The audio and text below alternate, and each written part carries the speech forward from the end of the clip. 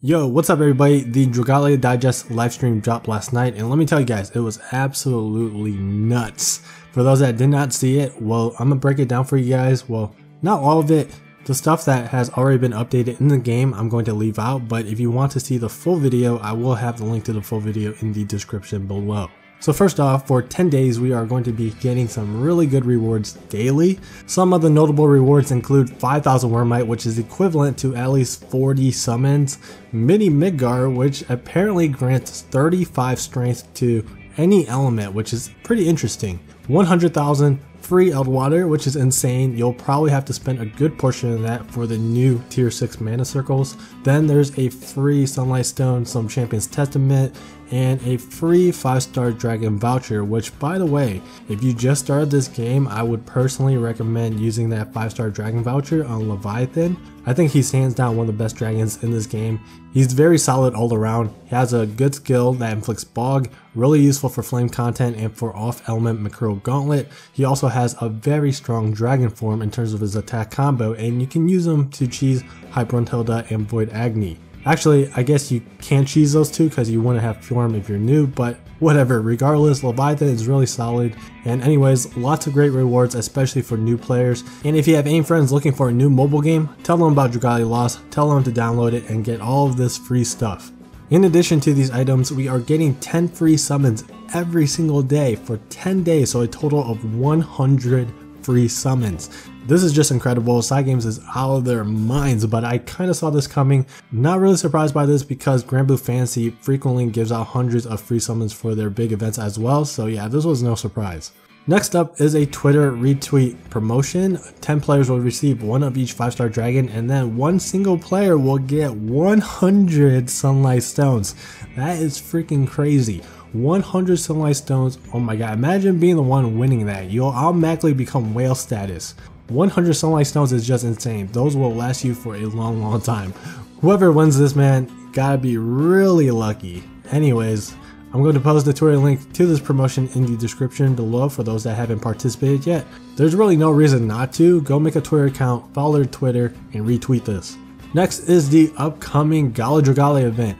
I'm pretty sure most expected it to be Gala Euden. I was 50-50 on it being Euden or Elisanne. I thought it could have been Elisanne because she could have racked in the big bucks, but Euden makes more sense, especially being a light sword, considering that High Zodiark just came out. Euden though, let me tell you, this guy is OP. He's got everything in this kit. He's got damage, strength buffs, defense buffs, inflict status, a shield, and a whole bunch of crazy dragon effects. For example, Draconic Charge fills 50% of the user's Dragon Gauge when their HP drops to 30%, which means he can pretty much Dragon right after getting hit by a high Dragon's opening blast. And then he also has a new and improved co ability, and this is really awesome because this means that we'll get to see more improved co abilities in the future. I'm not going to talk too much about Gala Euden because I want to save everything for uh, the separate video reviewing him after SP costs and damage modifiers get released. So look forward to that video soon in the upcoming days. But god damn, yeah, you guys got something for this guy. He's insanely good and his skill animations are 10 out of 10. Platinum Showcase, this is where you basically purchase a free tenfold ticket that will reward you with a guaranteed Gala character. I only have two of the five, so I'm most likely still going to do this Platinum Showcase. Hopefully I can get Euden or Cerise off of this. I actually wouldn't be mad if I got Gala Ranzal since I love using sword characters, but they are all pretty solid. You can't go wrong with this unless you a dupe. First anniversary limited time packs, if you guys have disposable income and are willing to spend some money, then this is a great time to do that. I'm probably going to buy some of these packs myself, but not these three. I'm probably going to buy some of these ones, but it also depends on the price. I really want Leia because I love my 4 strike damage swordy, so definitely going to try to get her for free. Not sure what dragon I'm going to summon for free, but right now I'm kind of leaning heavily towards Popstar Siren, but we'll see. Social reward counter is getting reset again and you can earn up to 2500 Wyrmite from just doing co-op with random people in pubs. This is like the third or fourth time this has been reset. Really good stuff, can't complain about free Wyrmite, more ammo for Gala Euden.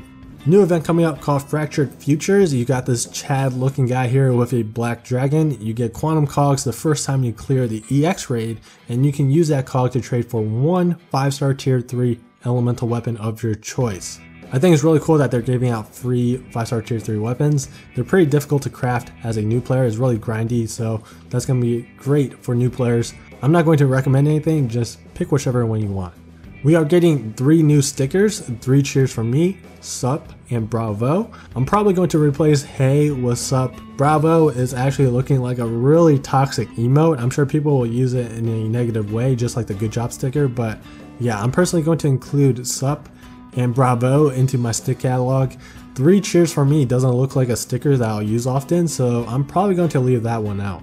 And that's about it for everything that's in the first anniversary event. Now let me cover the future update stuff. We are going to get Expert and Master difficulty High Dragon trials. Apparently the new difficulty will add new moves and patterns to the High Dragon, so that's really cool that they are doing this so it's not just a beefier version of the original. You actually have to relearn their patterns and stuff. High Dragons will also start to drop materials in order to craft High Dragon weapons. These weapons actually look really sick. Apparently these are stronger than the 5 star tier 3 elemental weapons, so this is the true end game.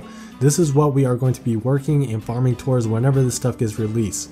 I was actually wondering when we would be getting better weapons since some of the elemental weapons have really bad skills and I guess this is it. This will give us more incentive to farm high dragons, especially the older ones like High Midgard and High Brunhilda.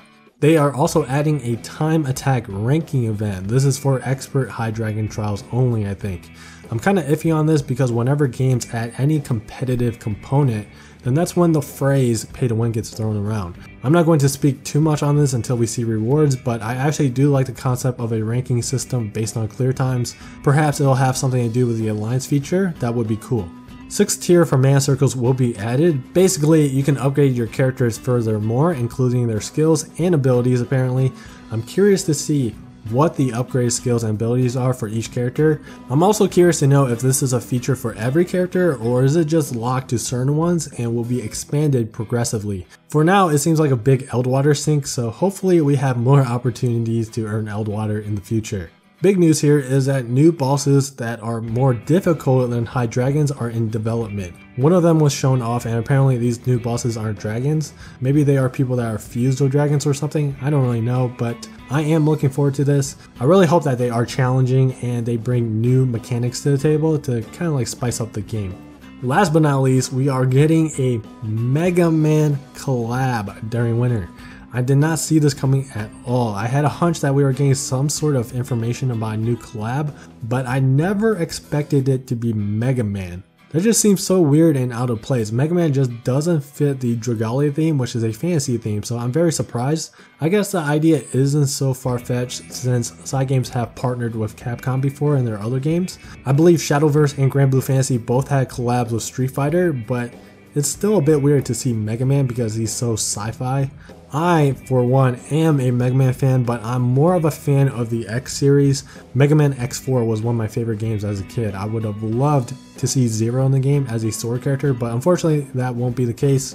I've actually never been a fan of the original Mega Man game, so I'm kind of neutral on this. I'm really curious to see what kind of character the Mega Man characters will be. Obviously, Mega Man is going to be some sort of range character, probably a bow that shoots little pellets out of his buster or something like that. Maybe a wand design fits him better because Mega Man is known for his buster and his charge shots. I think a Buster Charge Shot 4 Strike fits a wand style better than the bow, but I don't really know. We'll see in the winter. They pretty much have to give him some sort of unique design like Veronica. There's no way that we'll see Mega Man carrying a bow or a wand. That would be whack. And yeah, that's all the notable info that we got from the Dragalia Digest. Let me know in the comments what your favorite news or update is from this live stream. Also, lots of content coming soon on this channel, so be sure to subscribe and click the notification bell so you don't miss any of my videos. And as always, thanks for watching, and I'll see you guys in the next video.